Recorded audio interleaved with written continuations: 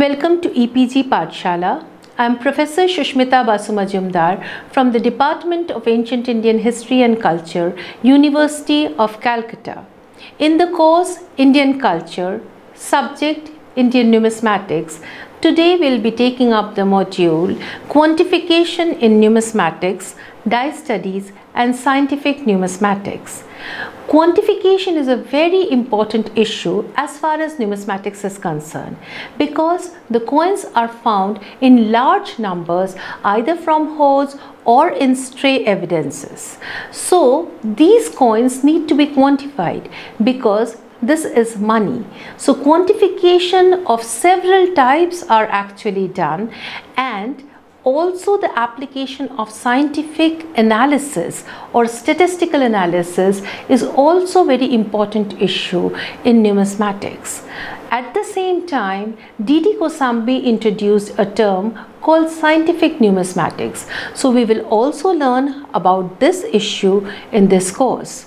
Apart from this, we will have application of statistical methods and we will also learn about die studies and different terms and terminologies which are used in die studies. So these will be very basic things about die studies and quantification and quantitative methods applied in the field of numismatics.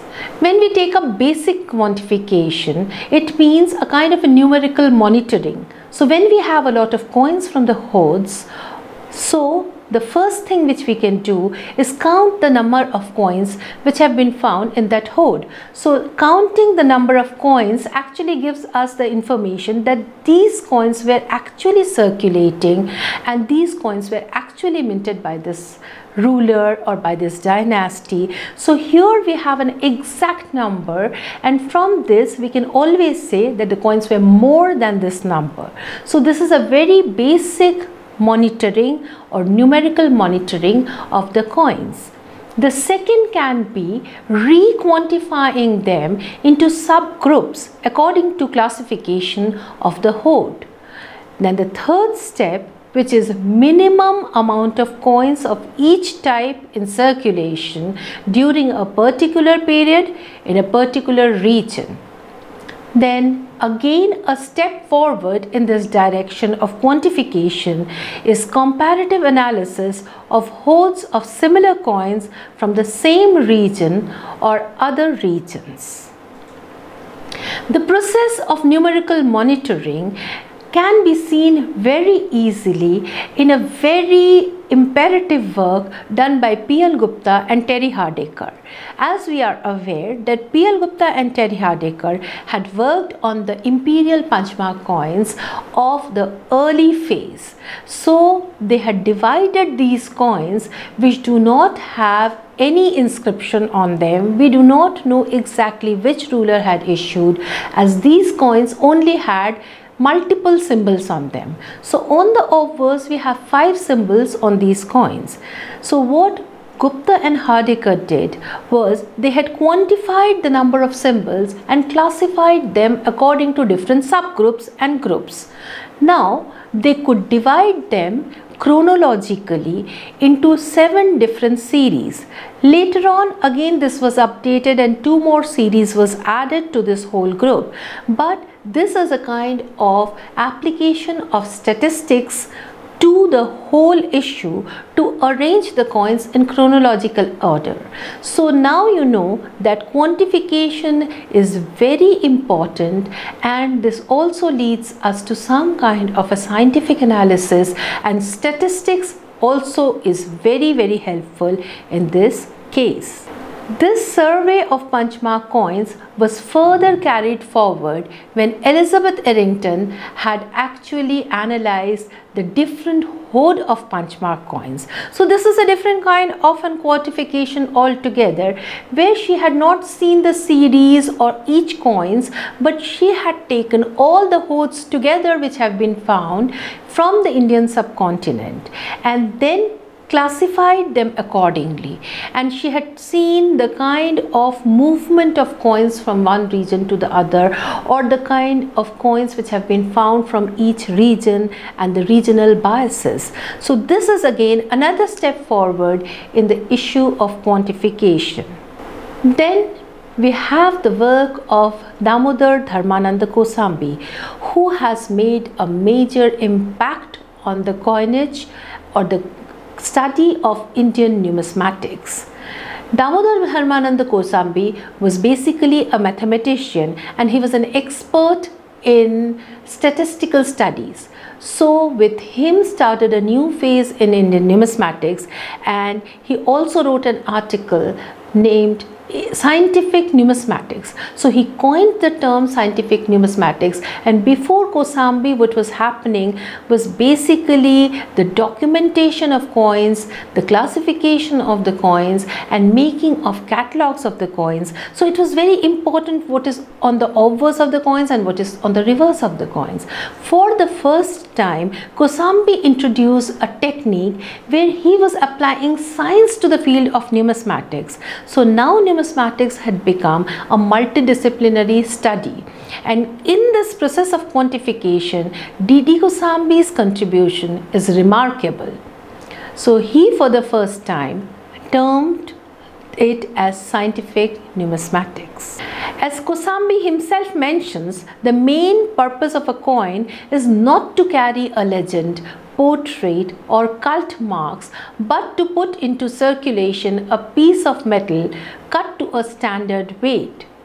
He also mentioned that every hoard of coins bears the signature of its society. So he was not looking at the coin only as a numismatic specimen, but he was also placing it in the broader context of the society.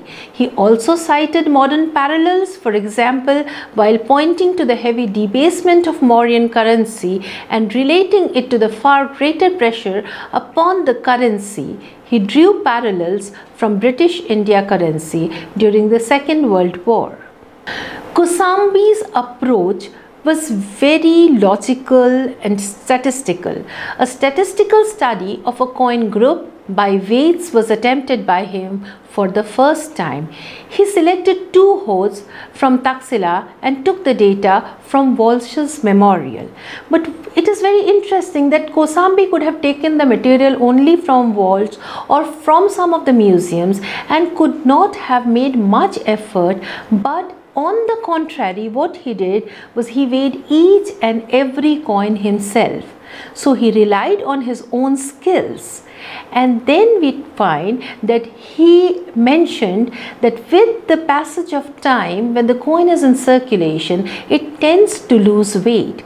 So according to his theory, he had put time on one side and the loss of weight on the other side. So in the graph x and y scale, he had taken them together. And he also mentioned that there is a term called legal remedy. So let us also now learn what is legal remedy. It's a very basic term but it is quite important because Kosambi has pointed out that there is always a factor of unavoidable weight variation even in coins newly minted using the same technique even by the same craftsman. Kosambi used the term legal remedy for such tolerance level of weight variation at the time of its minting. This legal remedy is thus different from the weight lost in the process of transaction.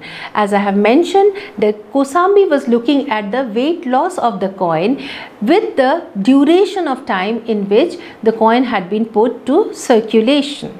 He classified a set of punch mark coins by number of reverse marks. So what Kosambi was trying to say is that the number of reverse mark which are also known as control mark, shroff mark, guild mark or the mark of checking the coins. So these marks actually according to Kosambi were made by the guilds the shroffs and others who checked the coin time and again. But this was also put by the official authority. So he said the number of reverse mark, if they are more, the coin had been in circulation for a longer time.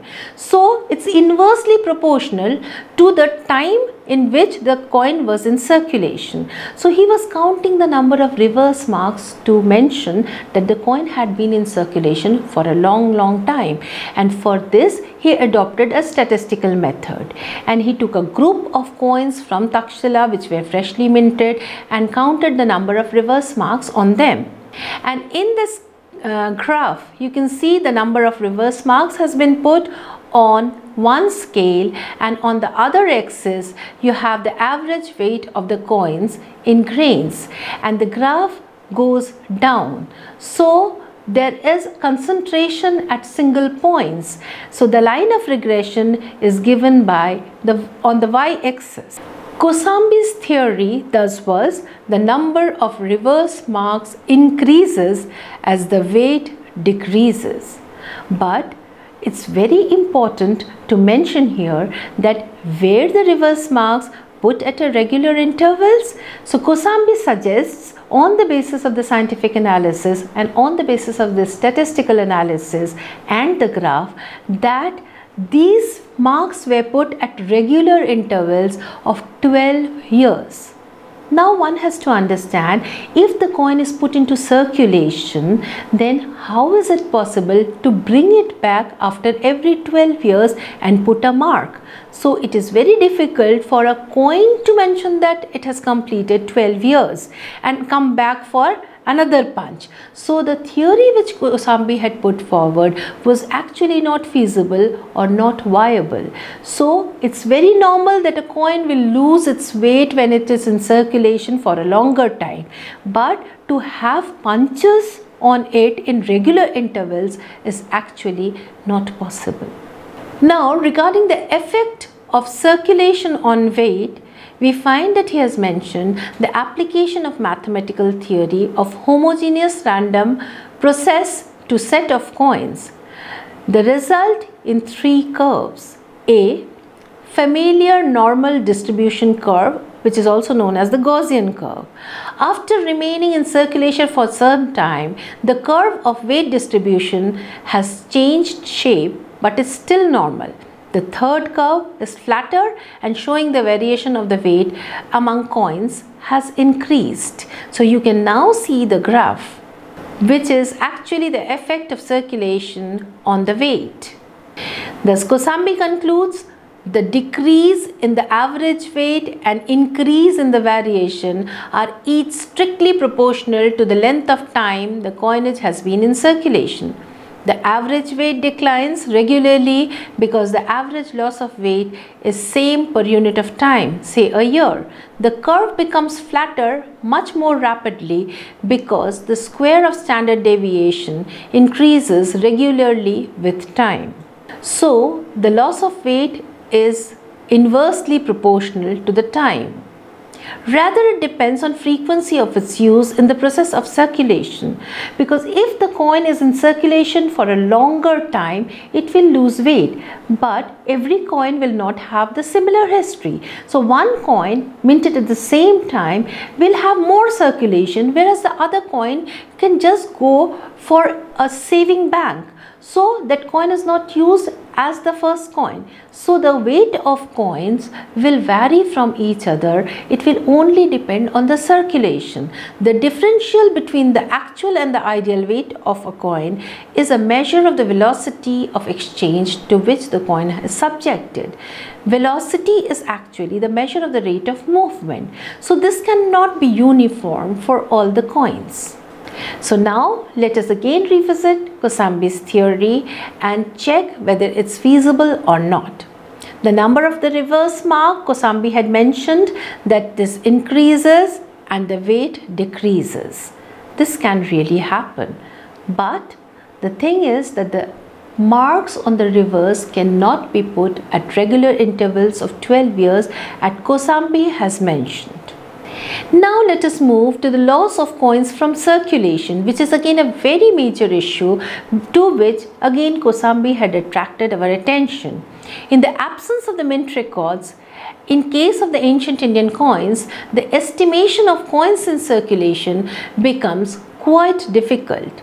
The quantity estimates from survival patterns is actually known as calculating the half-life of coins and this has been done by several scholars and it has been applied to numismatics by several scholars like Cole and recently even John Deyell has done the same thing that is calculating of half-life of coins. Patterson and Deyell and Cole are the major proponents of these theories who have applied it to the Indian numismatics and the methodology which has been used by Cole who has mentioned it as lifetime of coins in circulation are based on nine surveys which he had carried. Large sample of coins of same denomination drawing from banks, local banks and frequencies of each date occurring were recorded. This can also be mentioned as absorption of coins. Coins of a group tend to disappear from circulation in a regular way that is proportional to the number circulating. So suddenly we will have the drop in the number of coins which is in the market. So whenever there are fresh coins in the market, there is a tendency to hoard a few or keep the new coins with you. So when this happens, there is a sudden drop in the number of coinage which has come to the circulation and this is known as absorption of coin and when the number of coin reduces to half this time period is known as half-life of coin. The rate of absorption is represented by a statistical law in familiar geometric progression. Here you can see Kosambi's description where he has used the number of punch marks on the coins and also the the loss of weight of the coins to show the absorption in the square coins. As Kosambi mentions, the rate of absorption is similar to the law of absorption of radiation, the law of healing rate of wounds and the law of growth by compound interest. So how do we actually calculate? We will calculate the absorption of coins in the same way as we calculate all these. So it's a common theory which has been applied here. John S. Deyell and Patterson have also applied this absorption of coin theory as I have already mentioned. Let us see how they have applied it and to which set of coins have they applied and is it universal or it varies from coin to coin. It really does because it also depends on the kind of circulation which is happening, the kind of remnants which we are having. The rate of absorption or diminution of the quantity of coins in circulation is measured by the half-life of coins. The time taken for the survivors to be reduced to half their original numbers is termed as half-life. Patterson has estimated the half-life of silver coins in circulation in the 20th century at 25 to 30 years. So it takes 25 to 30 years for the coins to become half the number of coins that had been actually put into circulation. If we put 100 coins to circulation to become 50 like when we have 50 coins in the market, it takes 25 to 30 years according to Patterson and Deyell. For the medieval period in Europe, he proposed a half-life of 50 to 100 years. As I have suggested that from area to area, from region to region and from the kind of usage of coin, it will vary. So in medieval Europe, the time taken is 50 to 100 years. Deyell estimated a half-life of approximately 20 years for the Rajput bull and horseman coinage of Delhi. So we have seen that these are in three different forms. So one has to be very careful while calculating it but the application of statistical method actually helps in estimating the half-life of coins. As I had already mentioned that Kosambi's methodologies have actually made a major change in Indian numismatics and the application of science or scientific numismatics had made a major impact on the Indian numismatic studies. So Kosambi was the first person to calculate the half-life of coins and it still continues with the studies of Patterson, Cole and also John S. Deyell. So this is one of the methods which is still in application. Though the rest of the uh, things on the theories which Kosambi had put forward were at fault but still we cannot underestimate the efforts of Kosambi because he actually had made a major paradigm shift from what had been happening in Indian numismatics. Now from here let us move to the topic of die studies and die analysis. Let us take up the terms and terminologies. Die is actually the tool which is used for minting die struck coins. We have two dies, one is called the obverse die and the other is called the reverse die. The reverse die is actually kept on the anvil and then the coin blank is kept on it and then the obverse die and finally a metal protector and then the hammer blow is received by the whole set and the coin is then minted. But this is a basic definition of minting. But as far as die studies are concerned, the obverse and the reverse dies are two different things. So let us now learn the basics of die studies and terminologies. According to die studies, the definition of an obverse die is the die which is fixed on the anvil on which the coin blank is placed is actually the obverse die. So this die which is actually kept on the anvil and fixed to it is the obverse die. So the term obverse means which is more important the primary die. So this is the die which is to be protected. So it is not receiving the direct hammer blow. On this the coin blank will be kept and the reverse die will be the opposed die to the obverse die which will receive the hammer blow and not directly because it will have a metal protector.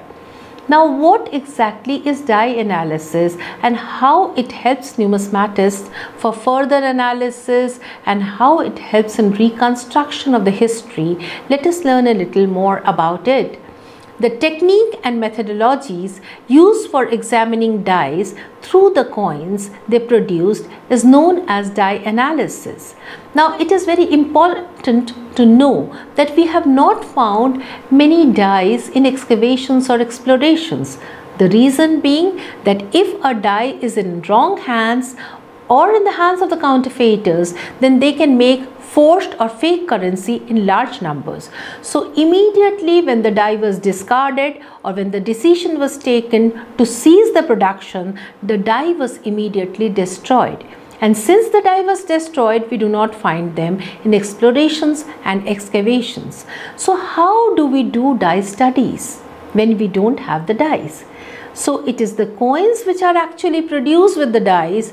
They are studied very carefully and by a careful examination, now we can say that how many dies were actually used to mint these coins.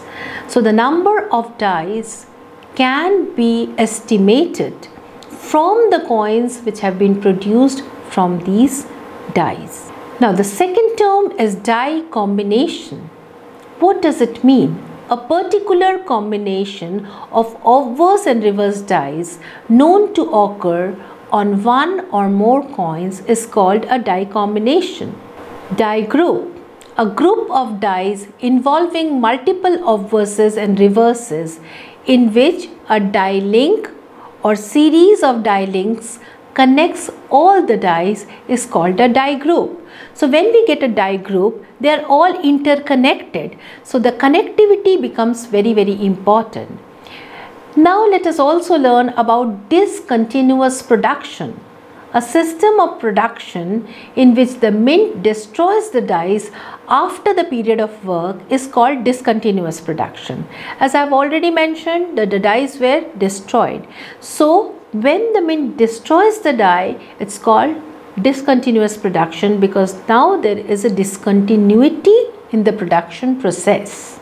Double striking or double struck a coin which is moved during the striking resulting in the image to appear in two or more times on the coin is called double striking. So we know that on the lower die or on the anvil die the coin blank is kept and then the upper die or the reverse die is kept. So while striking one of the things can move either the upper die moves that is the reverse die or the coin blank can move a little and when this happens or even the hammer blow is not correct so we have to mint it again. So when the coin receives another blow then we get a double image. This is actually known as double striking or double struck. Then in die analysis, there are very important terms like intra-die analysis and inter-die analysis. This is the most important part of die study. What do we mean by intra-die analysis? The study of how a particular die wore out and was altered by examining multiple coins produced by the same die is known as intra-die analysis. So when we have a set of coins which have been minted by the same die, then we can examine them carefully and see what are the variations which are happening. So a small crack can develop while minting the coin. So we see that the crack is gradually becoming deeper and larger and then the crack is actually mended a little and then some coins are struck and then gradually the die is breaking. So we can arrange them e accordingly and this is known as the internal study of the die is known as intra die analysis and inter-die analysis is just the opposite, uh, the study of relationships between different die by examining the different die combinations they occur in is called inter-die analysis. For doing inter-die analysis, we need a larger set of coins and we have to examine the relationships between different dies if they come in different combinations. Then there is a very important term called isolated die. An obverse and reverse die which is found in more than one die combination but in which the opposed dies are not found in other die combinations is known as isolated die. Once again, the obverse and the reverse die which is found in more than one die combination but in this the opposed die is not found in other die combinations is known as an isolated die. Then meta die analysis. It's a statistical analysis of the dies in a given sample. So whenever there is an application of statistical analysis in die studies, it's called meta die analysis. And then singleton a die combination in which both the dies are not known in any other die combination is known as a singleton. So both the dies that is the obverse and the reverse die are not known from any other die combination will be known as a singleton. Now let us learn a little about the historiography of die studies. This was first introduced by Imhoof Blumer who was a German scholar and the, all the writings of Imhoof Blumer were in German. So the others who could not read German to them it was not becoming much popular. So it was Newell who for the first time translated them and applied it to uh, another set of coins and he wrote in English. So with the writings of Newell, then the uh, die studies were actually introduced to the rest of the part of Europe and it became very very popular and they were again uh, applied to Greek numismatics and the Hellenic coinages and with this started the major trend of doing die analysis from 1921 onwards. So from 1912 to 21 we find that it was applied on the coins of Alexander and his Hellenistic successors and this gave a major impetus to die studies.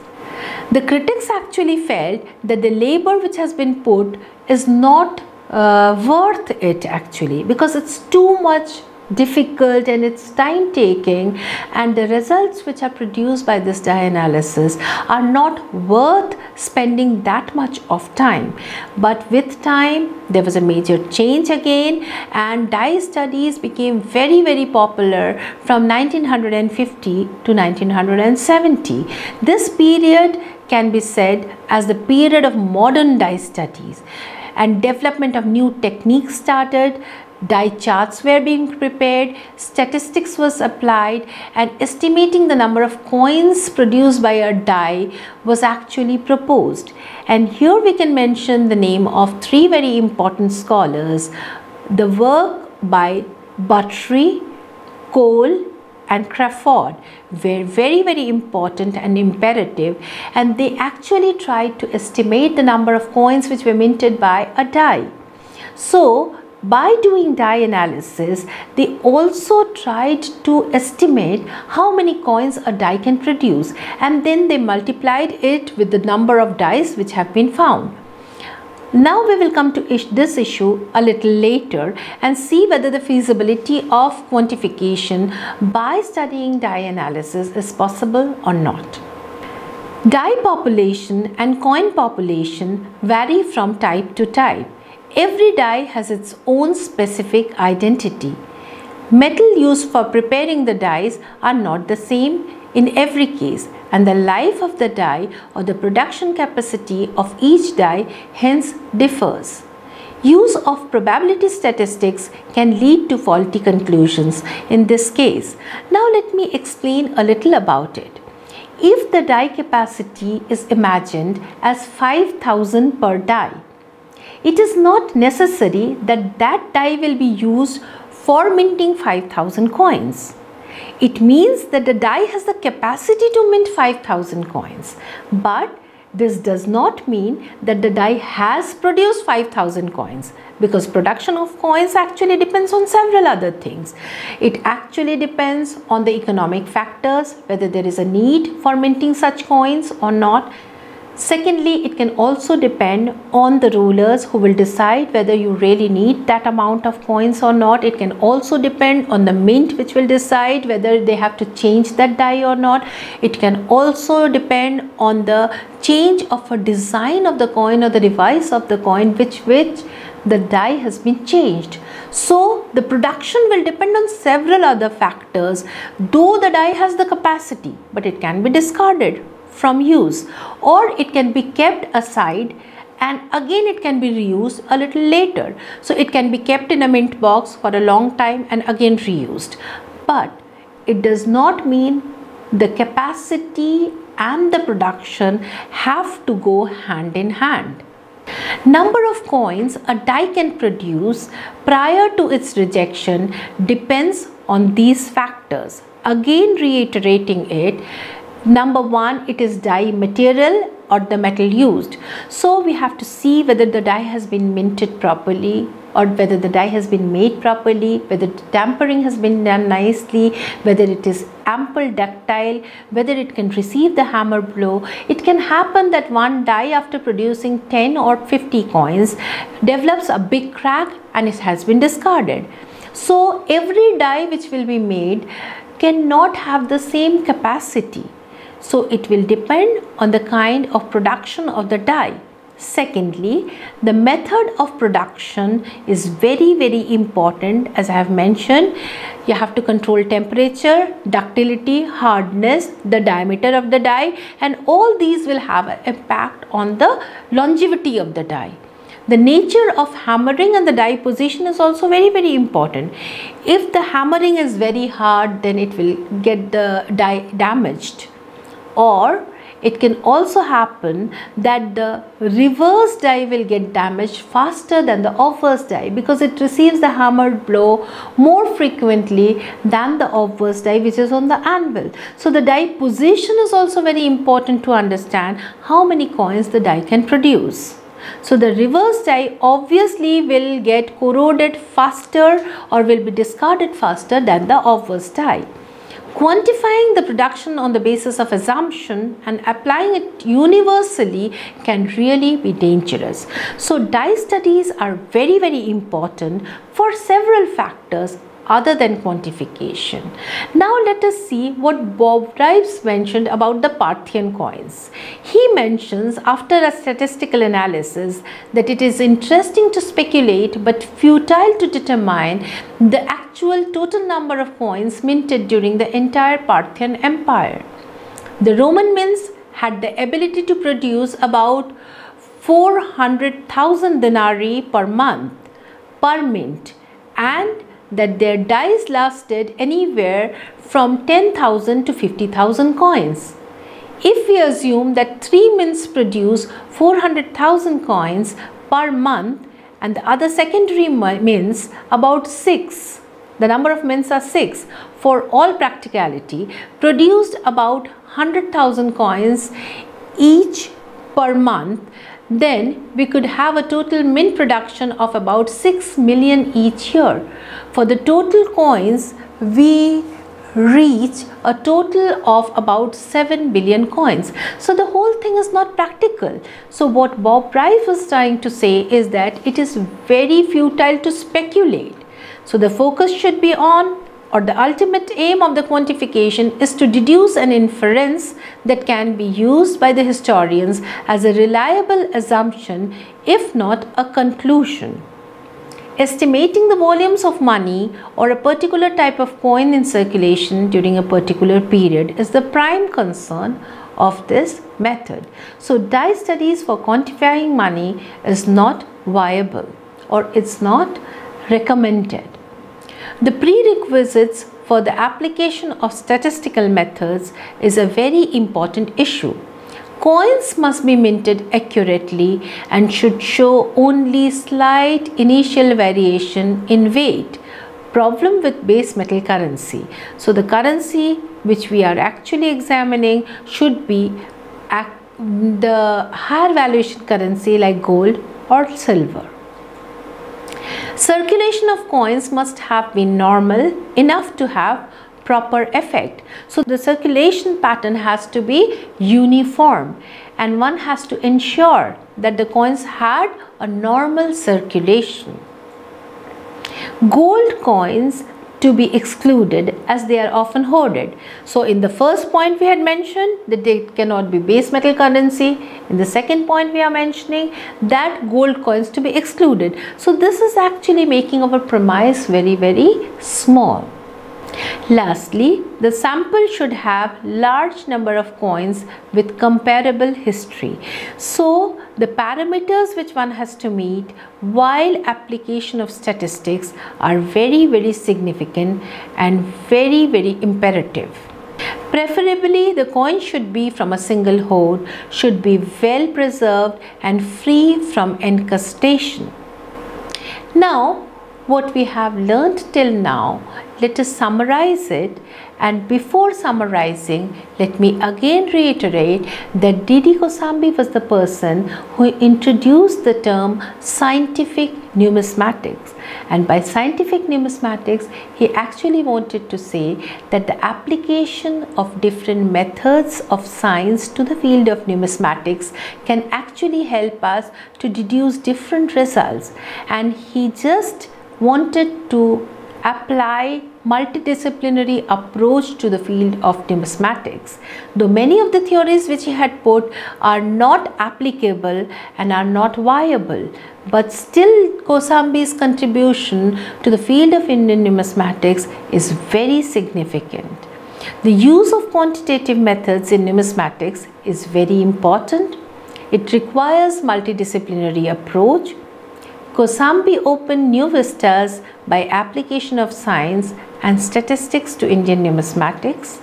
Quantifying production rate in the absence of mint records can be dangerous and futile and has to be done with much care and caution.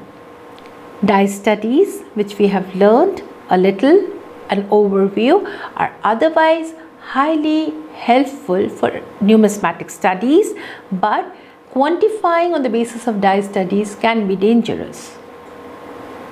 So, thank you for learning this course with me. Do visit EPG Pathshala. Thank you.